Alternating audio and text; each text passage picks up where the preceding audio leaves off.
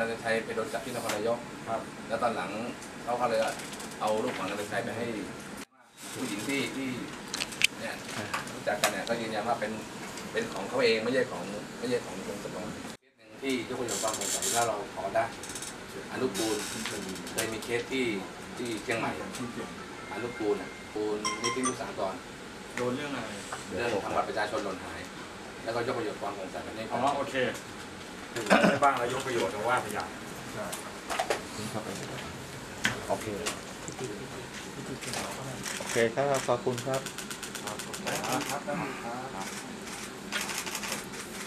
เดี๋ยวเป็นเรื่องเขาประวัติเดี๋ยวผมทำให้ได้ได้ได้ได้ขอบคุณผมเอ่อคำพิพากษา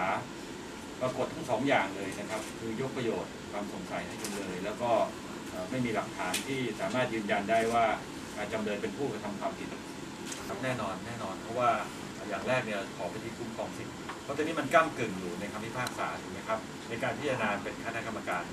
คณะกรรมการก็มีระเบียบว่าจะจ่ายให้กับในกรณีที่ไม่ได้เป็นผู้กระทำความผิดนะครับหรือว่าไม่มีหลักฐานยืนยันได้ว่าเป็นผู้กระทำความผิดอันเนี้ยมันปรากฏอยู่แล้วแต่หลังจากนั้นเนี่ยยังมาปรากฏในคำพิพากษาอีกว่ายกประโยชน์ให้จำเลย